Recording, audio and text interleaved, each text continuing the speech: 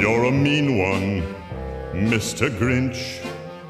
You really are a heel. You're as cuddly as a cactus, you're as charming as an eel, Mr. Grinch.